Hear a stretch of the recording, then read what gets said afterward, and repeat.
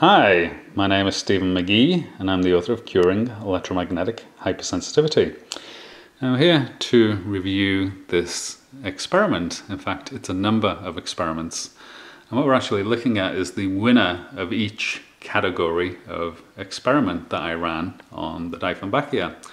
And all of these Dieffenbachias were grown in very high-powered, biologically toxic radio wave fields and they actually look pretty good and that's because I intervened with the growth and we're going to go through the various methods that I used to get the Dieffenbachia to grow inside a biologically toxic radio frequency contaminated home.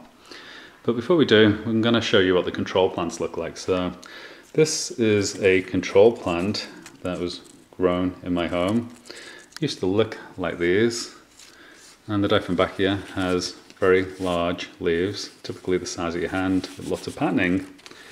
And I typically use either this variety or this variety. So this used to look like those plants, as you can see very clearly is highly deformed. It has glossy radio frequency exposure leaves. And this glossy leaf effect and the loss of patterning is very classic radio frequency exposure in plants. So this one actually grew in my living room. So this was one of the first plants that I grew in the home in 2011 when I became aware that the plants were actually deforming in the home. And this was very typical of all the deformity I was seeing throughout the home. And that has now cleared up. So in 2014, two events happened at my property. I cut down my very tall tree on the property because I found that it was emitting electromagnetic fields. And I also complained about a cell phone tower. So the west cell phone tower from my property had a transmitter on it which was removed sometime in 2014 and all the plants that I've brought into the home in 2014 are actually growing just fine. So it seems the combination of those two events has returned my home back to a home where you can grow Dieffenbachias. So the reason why I'm showing you this plant experiment is because I'm no longer going to be able to do these experiments and these were the winners of the various experiments that I performed while I had that biologically toxic radio frequency field throughout the home. And we're going to start with this one down here. So this one was the winner of the grounded pot. So if you look down here, we've got foil strips going into the base of the pot that grounds the roots and the soil.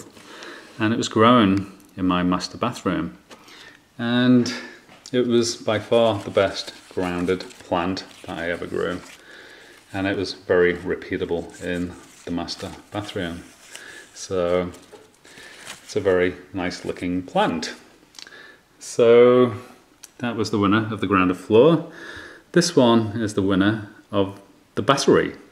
So I actually found that if you connect these plants to standard one and a half volt batteries that they grow very well.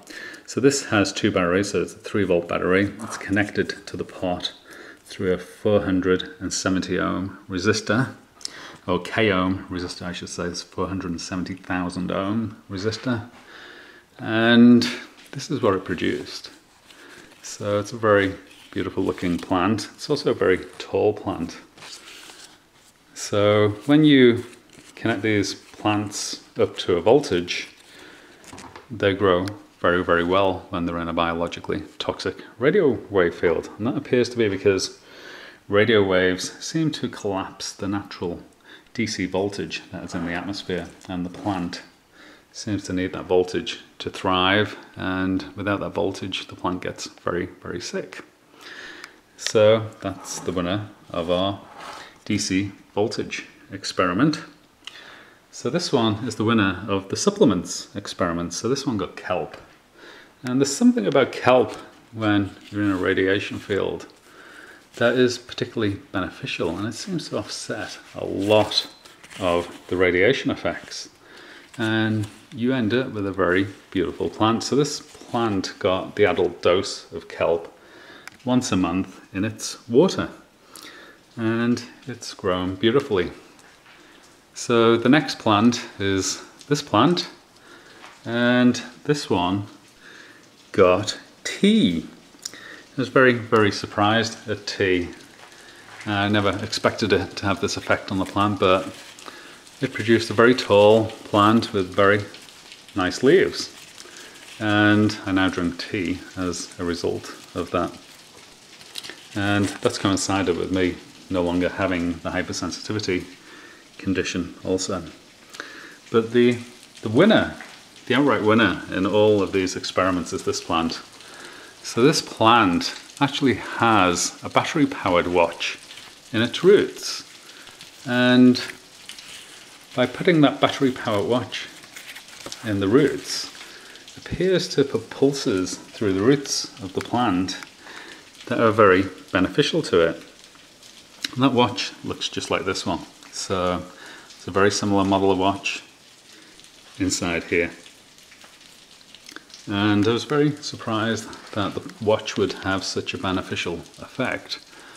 And that's why I now wear the watch myself, because it was good for the plant, so it appears that it's also good for me.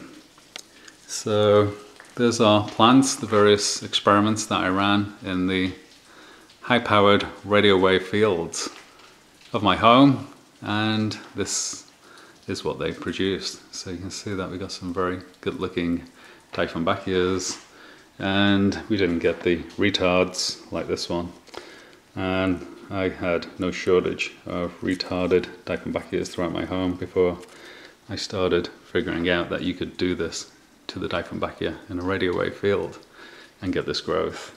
You want to find out more about these techniques and how they relate to human health, you'll find it in Curing Electromagnetic Hypersensitivity. I hope you enjoyed the video and I wish you the very best of health. Thank you.